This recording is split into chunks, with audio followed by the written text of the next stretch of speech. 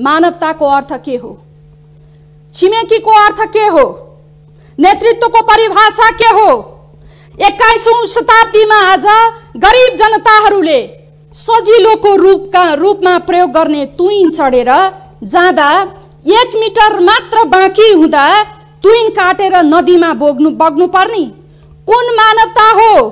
कुन सभ्यता हो? कुन छिमेकीको परिभाषा हो? र यसमा बोल्न नसक्ने पार्टीहरू पार्टीका नेताहरू जसले आफूलाई बिपीसित जोड्छन्।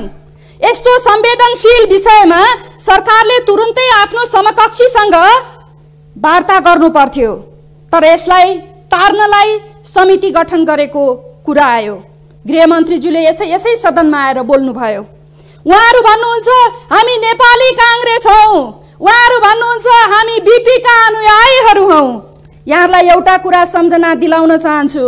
भारतीय प्रधानमन्त्री नेहरूले नेपालको हिमालसम्मको सुरक्षा हामी गर्छौँ भन्दा नेहरूसित असहमति जनाएर हाम्रो सुरक्षा हामी नै गर्छौँ भनेर बोल्ने बिपी कोइराला चिनिया सुरक्षाकर्मीद्वारा एकजना नेपाली मारिँदा अब्जेक्सन जनाउने बिपी कोइराला भारत र चिनको नेतृत्वसँग अब्जेक्सन जनाएर उनीहरूको बोलीलाई विड्र गराउने बिपी कोइराला।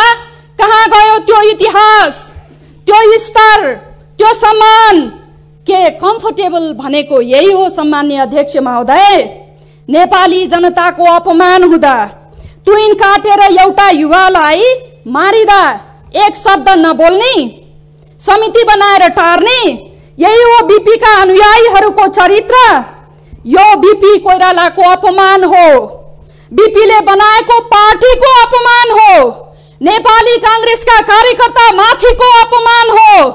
बिपीले बनाएको पार्टी काङ्ग्रेसलाई विश्वास गर्ने नेपाली जनताको अपमान हो। त्यति मात्र होइन सम्मान्य अध्यक्षज्यू यो इतिहासको अपमान हो। स्वाभिमानको अपमान हो र मानवतावादको अपमान हो।